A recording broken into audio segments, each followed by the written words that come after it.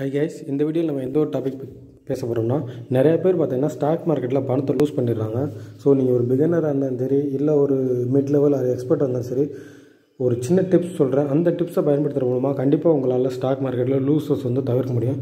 அது என்ன பார்த்தீங்கன்னா உதாரணத்துக்கு நிறையா பேர் பார்த்தீங்கன்னா பெரிய அமௌண்ட்டில் ஸ்டாக் வாங்கிறாங்க உதாரணத்துக்கு இப்போ ஹெச்டிஎஃப்சி பேங்க்கை பார்த்தீங்கன்னா இது வந்து காசு பார்த்தீங்கன்னா ஆயிரத்தி அறநூற்றி முப்பத்தி ஏழு. ஸோ ஒரு ஷேர் வாங்கினாலும் நீங்கள் ஆயிரத்தி இரநூத்தி ரூபா ஸ்பெண்ட் பண்ணணும்.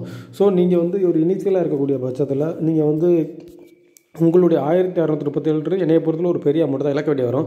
இன்கேஸ் நீங்கள் கற்றுக்கணும் அவன் ஷேர் அமௌண்ட் கம்மியாக இருக்குன்னா கம்மியான வேல்யூ சூஸ் பண்ணுங்க. உதாரணம் எனக்கு தெரிஞ்ச அது பார்த்தீங்கன்னா இப்போ மணப்புரம்னு ஒரு கோல்டு லோன் கம்சன் இருக்குது இதோட ஷேர் பார்த்தீங்கன்னா நூற்றி பதினேழு ரூபா தான். ஓகேங்களா இப்போ இந்த ஷேரை வந்து நீங்கள் தாராளமாக பிக் பண்ணலாம். ஆனால் இந்த ஷேரை பிக் பண்ணுறதுக்கு முன்னாடி நீங்கள் இந்த ஃபண்டமெண்டல் அனாலிசிஸ் இதெல்லாம் பண்ணிவிட்டு அதுக்கப்புறம் தான் அந்த ஷேரை பிக் பண்ணணும். எப்பயுமே நீங்கள் ஒரு பிகினராக இருக்கக்கூடிய பட்சத்தில் இந்த மாதிரி கம்மியான வேல்யூவில் இருக்கக்கூடிய ஷேரை பிக் பண்ணுங்கள் மணப்புறம் கோல்டு அண்டு பார்த்தீங்கன்னா எனக்கு தெரிஞ்ச கம்மியான வேல்யூவில் இருக்க ஸ்டாக்கை சொல்கிறேன் டாட்டா ஸ்டீல் ஓகேங்களா இந்த மாதிரி கம்மியான இருக்க வேல்யூஸில் இருக்க ஸ்டாக்கை பிக் பண்ணி அதில் நீங்கள் இன்வெஸ்ட் பண்ணீங்கன்னா கண்டிப்பாக பார்த்தீங்கன்னா உங்களுக்கு வந்து பார்த்தீங்கன்னா அந்த லாஸ்ன்றது பார்த்தீங்கன்னா இன்கேஸ் நீங்கள் லாஸ் ஆனாலும் அபரிவிதமாக இருக்காது. சின்ன சின்ன அமௌண்ட் இன்வெஸ்ட் பண்ணுங்கள் இப்போ உதாரணம் பார்த்தீங்கன்னா டாடா ஸ்டீல் நூற்றி இருபத்தி ரெண்டு ரூபாயா?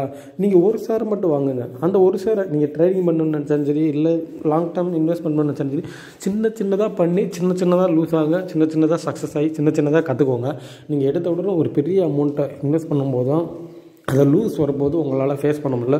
ஸோ நான் சொன்ன மாதிரி இந்த ஹண்ட்ரட் ருபீஸ் ஹன் பிலோ ஹண்ட்ரட் ஹண்ட்ரட் ஃபிஃப்டிக்குள்ளே இருக்க ஸ்டாக்ஸாக பிக் பண்ணி அதில் இன்வெஸ்ட் பண்ணிகிட்டே வந்தீங்கன்னா கண்டிப்பாக உங்களால் வந்து சார் கற்றுக்கிறவும் முடியும்.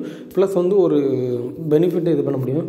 உங்களுக்கு இந்த மாதிரி ஷேர் மார்க்கெட் ரிலேட்டட் அவைலபிளான இன்ஃபர்மேஷன்னா கண்டிப்பாக நம்ம சேனலை ஃபாலோ பண்ணுங்கள் நாங்கள் அது ரிலேட்டடான வீடியோஸும் போடுறோம். தேங்க்ஸ் ஃபார் வாட்சிங்